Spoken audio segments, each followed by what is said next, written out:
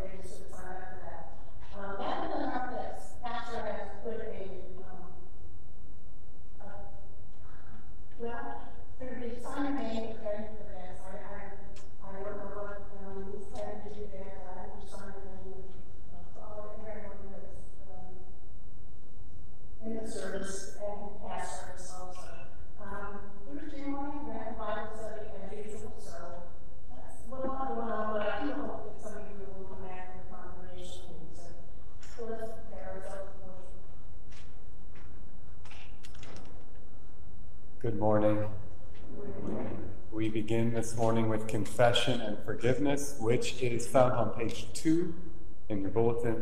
Please stand.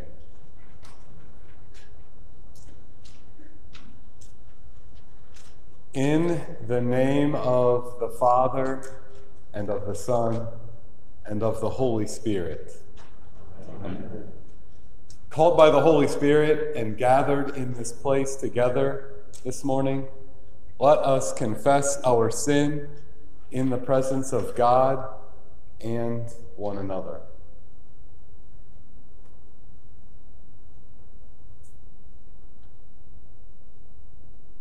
Have mercy on us, O God. We confess that we have sinned against you and against our neighbor. We have not walls instead of tables, and turned away the stranger.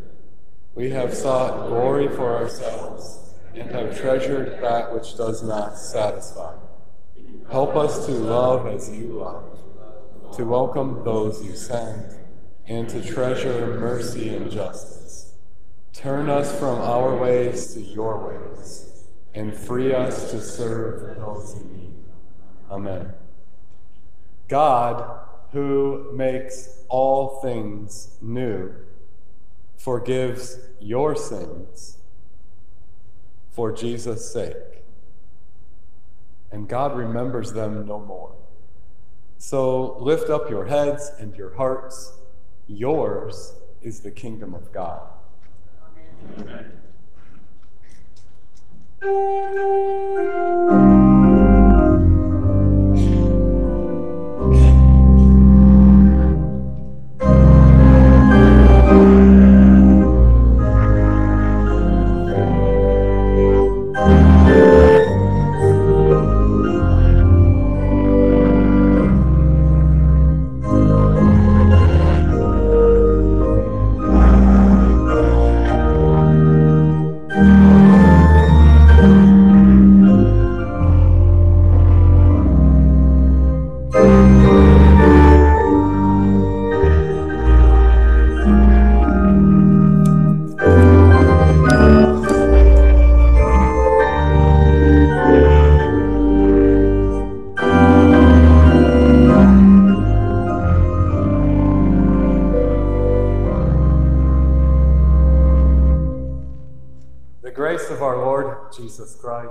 the love of God, and the communion of the Holy Spirit be with you all. With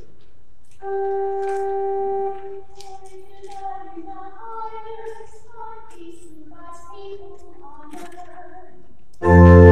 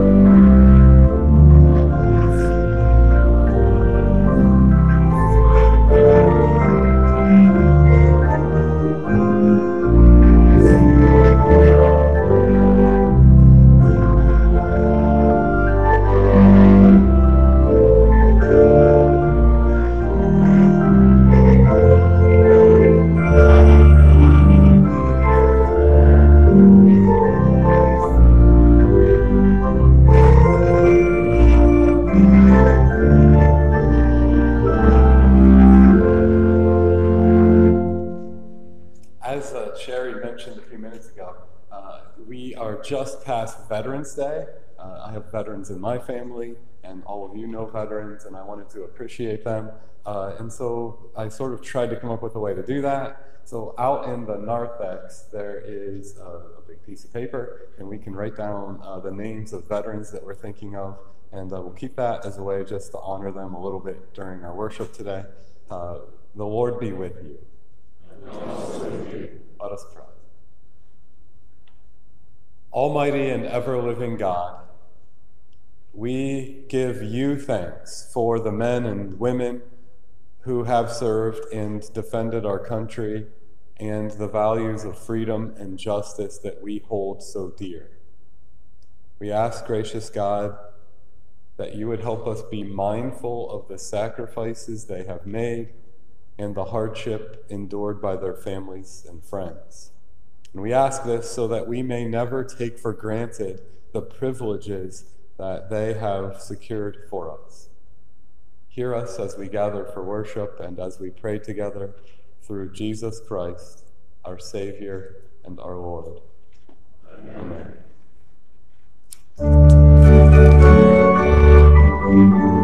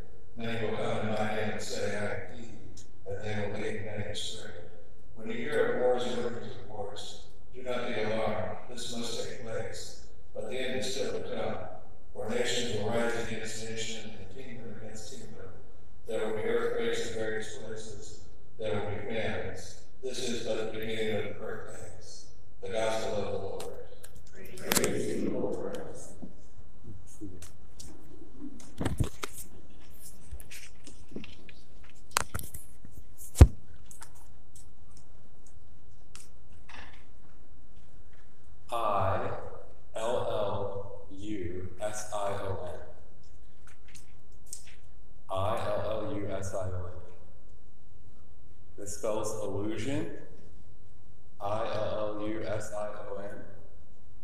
Uh, Could it be that you believe and put too much meaning in, have been dazzled by the grandeur of your own illusions? Could it be that I get too overwhelmed by all the stuff that comes at me at once. So I just build these little illusions and I try to think that that's the way the world works. Could it be that those are fragile and that we have been dazzled by the illusion of what we've constructed, made for ourselves? Could this be I L L U S I O N? In the 13th chapter of Mark, Jesus has just left the temple. I want to give you an idea of what the temple looked like when Jesus walked past it. It was completely covered. The walls, everything was completely covered in gold. It was said to be so bright that if you looked at it in the middle of the sun, uh, it, would bl- it was almost blinding to look at it. But Israel, Jerusalem, where Jesus is, was so chaotic. They were not happy. They were upset. Everybody had all these different groups. Everybody's upset with everybody else. Uh, there was an occupying power in their nation that did not let them do all of the things that they would like to do. They weren't really all that free, but at least they had the temple, this gold thing that sort of was an illusion. I L L U S I O N. Could it be that we have been dazzled by our own illusions? I don't want to just think about the temple. I want to think about how this affects us today. So that's a historical thing, and that's Jesus addressing it, stuff coming down, illusions coming down. But I want to think about this today. And I thought of seven stories to tell to try to get to this. Is that a lot? Seven stories? How much time do you all have? That's probably too many, right? Seven. So then I had to figure out how can I whittle this down, and I couldn't figure I couldn't figure out how to do it. So we'll see how this works. Uh, I just put them all in a basket, and we'll pull one out, and we'll see. All right. I have no idea which one's going to come out, and I'll talk about whatever one we get. Bob, you're always getting the volunteer. Although the danger is, is that Bob, like the rules, he's going to like try. Uh, just for now, just one of these. Well, and then you tell me what it says. I have, uh, there's seven stories in here. That's too many for you all to hear. They're about illusions and our illusions. So which one did you pick out? Lunch is at noon? Lunch is at noon. No. That does not sound familiar. I'm weird. I think it's sort of somewhere. Uh, this one says the absolute pinnacle. The absolute pinnacle. All right. So talking about the absolute pinnacle, I'm thinking about our illusions. I L L U S I O N S. Our illusions. And I want to to you for a minute about uh, the absolute pinnacle and how, to me, this is uh, one way to think about how we've been dazzled by grandeur. Okay? What do you think is the absolute pinnacle of human creativity? You don't have to say it out loud, just think about this. What is to you the absolute pinnacle of creativity, the best thing that's ever been invented that shows how wonderful we are as humans? Do you have an idea of what you think it is? I have two things that I think it is. The first is cream sticks. I think cream sticks are the pinnacle of human creativity. There are chocolate ones, there are vanilla ones, and these are uh, the best creation ever. I don't eat so many of them now, but to me, this is the pinnacle. We reached the pinnacle when we invented these. This is the pinnacle of human creativity, right? And the second is just under it. I don't eat very many of these anymore, uh, but I've eaten in my life thousands and thousands of gummy bears, right? So these, to me, uh, these are pure sugar. These are the pinnacle of human creation. Cream sticks, gummy bears. Have any of you, what did you think of? You want to say it out loud. What did you think of? Do you know what people went and did with cream sticks? We had vanilla, we had chocolate, and then they made what to me is a total abomination maple. We had reached the pinnacle of human creativity with cream sticks. We had vanilla, we had chocolate, and then people, I don't know, just thought they had to keep going with it, and now we have maple. They have now taken gummy bears, and I think those are like 100% sugar, and they've made sugar-free gummy bears. It's just totally manufactured ingredients. And I'm not going to go too far into this, but if you Google sugar-free gummy bears and you see all the reviews of the people that have eaten that and what happens to them, the hint that I'll give you is that you have to be really close to a bathroom after you've eaten those. This is abomination. We've taken the absolute pinnacle and turned it into stuff that is just completely mixed up and completely uh, taken those things and messed them up. And so maybe the first illusion is the first thing out of all these stories, the one we picked, is that sometimes you and I believe in our own creativity, in our own inventiveness, in how great technology or baking or whatever can be. Sometimes we have a lot of faith in people to continue to invent and great and make great things. And then sometimes we get very upset when people take those things and maybe don't do with them as much as we hope for them to do. And maybe this is one of the illusions that we live in, that something technological or baked or put together is great enough to sort of see us through. Maybe we have a lot of confidence in what other people will do with these things. And maybe sometimes we come sort of face to face with our illusions, and maybe we see that sometimes these are pretty difficult. So I had seven stories like this. I had seven different ones, six more to go. I won't do all six more, but one more. Are we okay with one more? Okay. Uh, I'm not coming over to Bob. I don't know what Bob say. I'll try to go on. I'm trying to hide over here, Lord. I could have done seven. I'm just doing two. Oh, I didn't take that one out. I just got that something a little bit up. Car radio. You got car radio. Car radio. I L L U S I O N. Car radio. Think of your car.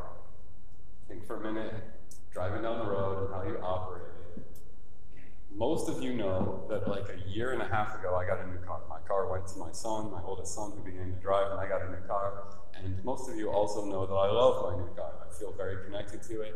One of the first times that I had my family in it, we were driving down the road. Kate was in the passenger seat, my boys were in the back. And I thought it would be fun to mess with them. So I, and I figured they were going to get this, but we were driving down the road, and I said that I love my car so much, and I'm so connected to it, that I can control the radio in this car with my mind. And so I'm driving down the road, and I said, "Watch this," and I, you know, sort of pretended like I, maybe, hopefully, I was stopped at a light or something. I pretended like I was concentrating, and that I could turn up the volume on my radio by like this way, and then I'd be like, you know, and it would go down. You know what I was doing, right? Because you have these cars. You totally know what I was doing, and I assumed that my family would know what I was doing.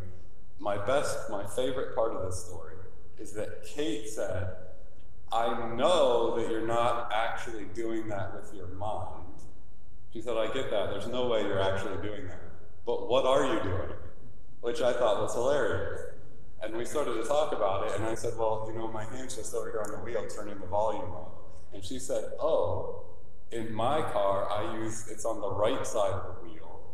And I wasn't really able to think about how your other hand, like I'm so used to it being your right hand that I wasn't able to imagine that your left hand could possibly be doing it. And so with this one, I'm thinking about illusions. And I'm thinking about all the news that we hear. And we know the backstory of news. We know the people, the places where we get our news uh, may or may not know the whole story. We know that there's always a backstory, but we know too that this is uh, sort of a thing we have, so we just sort of live with it. And I'm thinking about how we know that it might not be exactly what's happening, but it's too confusing or too complicated to figure everything else out. And so we just sort of have this illusion that if we just, uh, you know, hear or accept what we have, we'll go through, uh, go through uh, what we hear and just accept that as sort of ground level. And I'm thinking about how we all sort of think of illusions. We know it's an illusion, what we hear, but we're not quite sure we want to get to the bottom of what right might really be happening, and so it's easier. I'm thinking of illusions and how often we are dazzled by the grandeur of things we've built, of our own way of finding meaning and belief. I'm thinking about Jesus walking by the temple, who knew that the temple system itself wasn't really what he wanted it to be. He wanted it to be something that took care of, like the widow from last week, and it didn't really do this. But it was grand and how easy it was to fall into that. And I'm thinking about this how often you and I succumb to this. And here's what I really want to talk about. Here's the point of all that disillusionment is literally the loss of illusions. It's literally being taken, having illusions being taken from you. What if disillusionment is essential to your life of faith? What if disillusionment is essential to meaningful life? What if having all of our illusions taken from us is essential to living how Christ wants us to live? Loss of illusion about how capable I am, loss of illusion about how the expectations I have on neighbors or people around me, loss of illusion on how great all technology can be and how it'll always fix everything, loss of illusion on uh, getting the full story, the full truth from the news or from wherever else all the time. Disillusionment. What if disillusionment is essential to our life of faith? And that to me is the story of Jesus walking past the temple and talking about that temple not lasting and not always being there. And it's a story about disillusionment, and I'm thinking about this. Are you to this place yet? Are you disillusioned yet? I don't know how you all feel, but I feel like disillusionment is pretty close to an explanation of where I'm at. And my question is what if disillusionment is essential to our life of faith? What if we've been dazzled by all the things that we think we've built for ourselves? What if our way of seeing things and all the things that we've built up has sort of dazzled us this illusion of grandeur? And what if the reason why you're here today is to sit before God earnestly and to sit in disillusionment? I believe that disillusionment is essential to our life of faith. I believe that when we're in a place of disillusion, when we feel this, when we know it, we're exactly where God needs us to be. Where do we turn for help? Who do we pray to? Who do we ask for comfort or peace from when we're in a place of disillusion? Uh, I said that I would do not do all seven of these stories, but one more. Are we okay with one more? I don't know what else. I keep throwing the pieces of paper back in which is a bad idea. Uh, we'll do one more you look like you brought the clock piece of paper. I, I threw it over, but can you say you pull it out one way or the other? I'll just need to do it over. What does that one say? Let's see, pick one. You got coffee. You got coffee. Do any of you like coffee? Any coffee drinkers? Every morning, yeah, you, you have it with you. Every morning I drink a cup of coffee. How many of you that are drinkers drink this black, just straight? So many of you.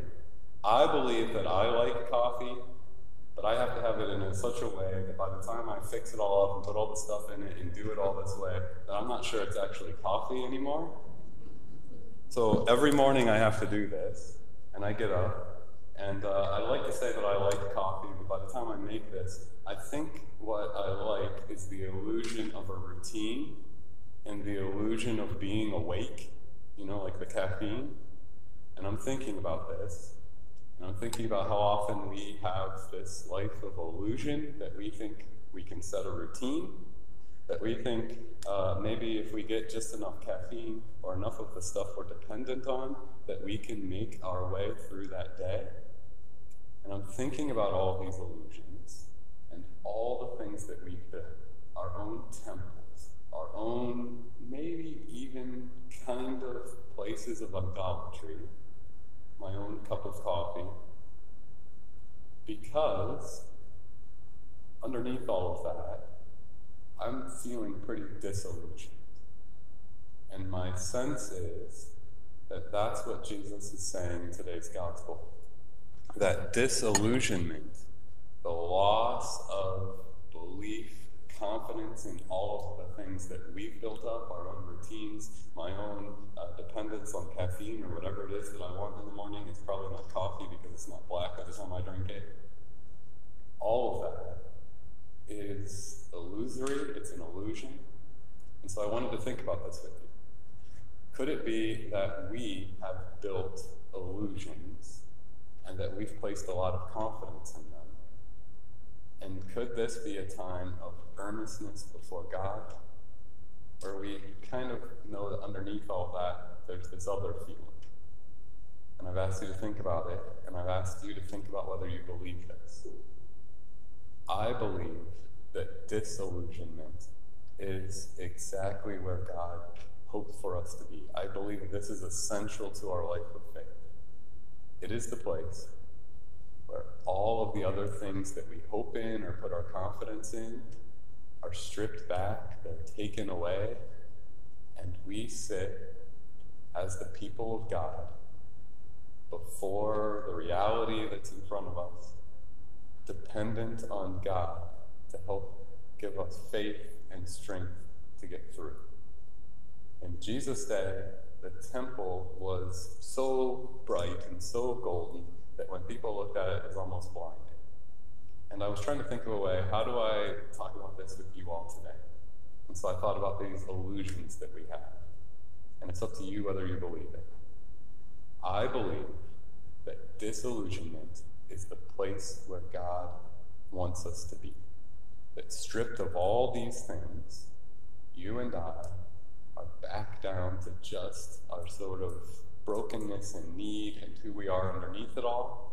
And instead of placing confidence in uh, cars or people's ability to make an even better cream stick or any of those things, we sit before God prayerfully, hoping that after disillusionment comes re illusionment, filled with not our own illusions, but the idea of love kindness and care, mercy, justice, the, the idea, the vision that God has for the world around us.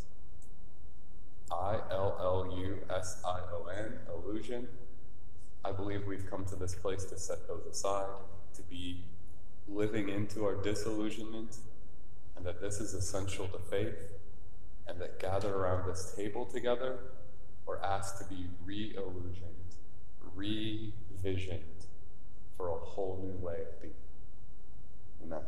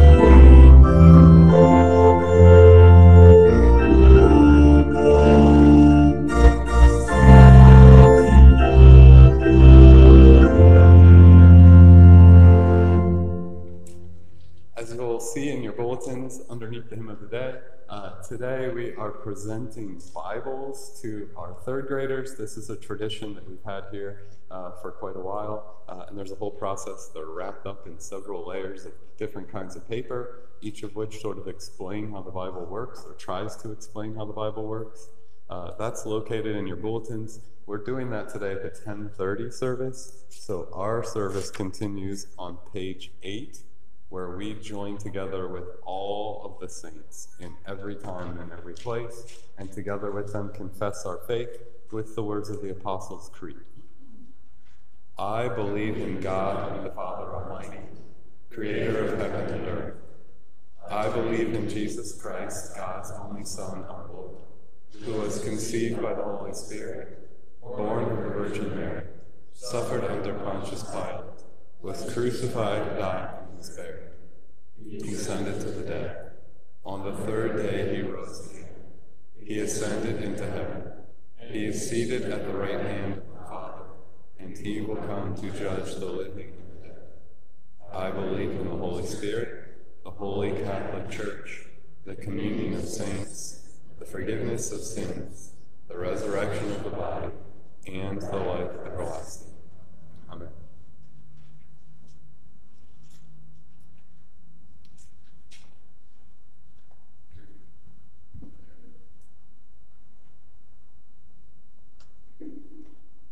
Eternal God,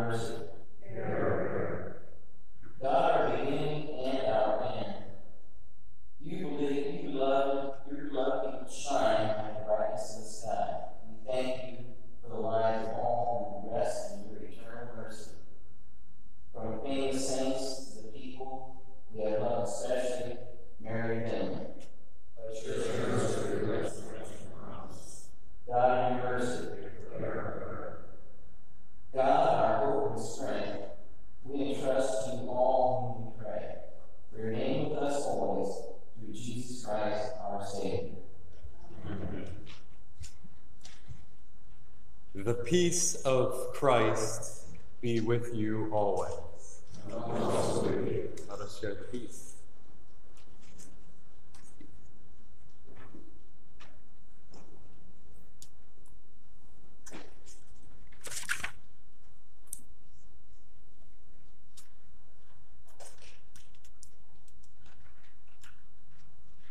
Holy God, the earth is yours, as is everything in it.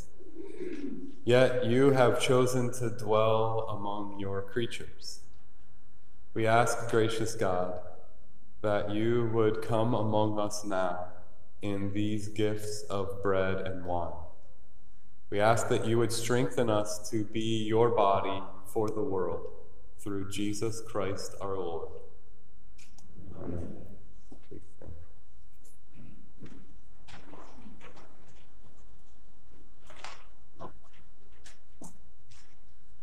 The Lord be with you. And also with you. Lift up your hearts. Let us give thanks to the Lord our God. It is indeed right, our duty and our joy, that we should at all times and in all places give thanks and praise to you, Almighty and merciful God, through our Savior, Jesus Christ, who on this day overcomes death and the grave, and by his glorious resurrection opens to us the way of everlasting life. And so, with all the choirs of angels, with the church on earth, and the hosts of heaven, we praise your name and join their unending hymn.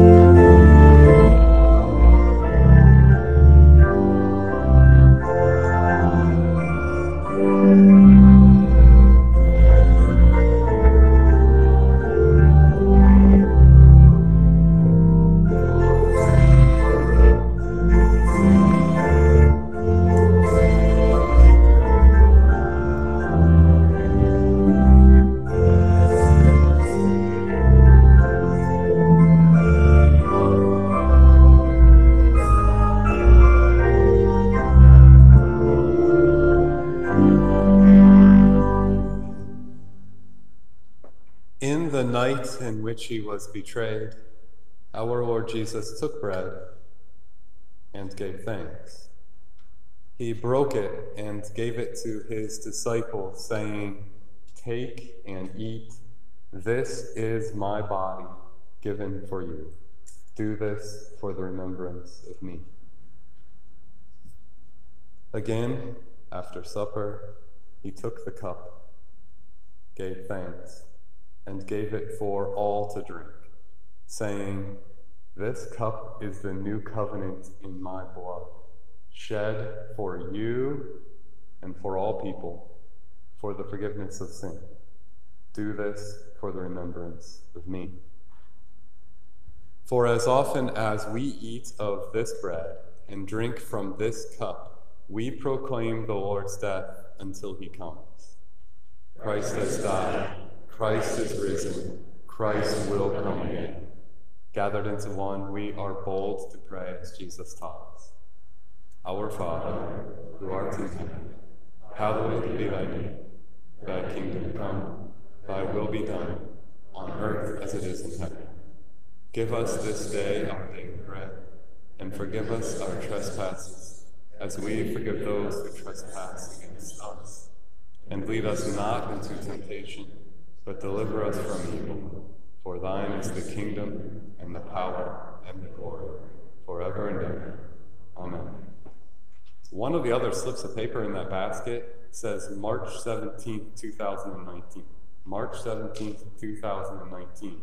That is the day that most of you got a text from me that said church was closed, that we weren't gathering here in person because of COVID, and that the table was closed and everything was closed down. And I'll tell you that since we've tried to come back, part of the illusion for me has been what it used to look like and what it looks like now and how that is different. And that's been somewhat sort of challenging to think about. But this morning, I believe we're called to this place and gathered, gathered at this table together again, not to worry about how it used to look, but filled with confidence of where God is taking us, how it's going to look. Taste and see that the Lord is good.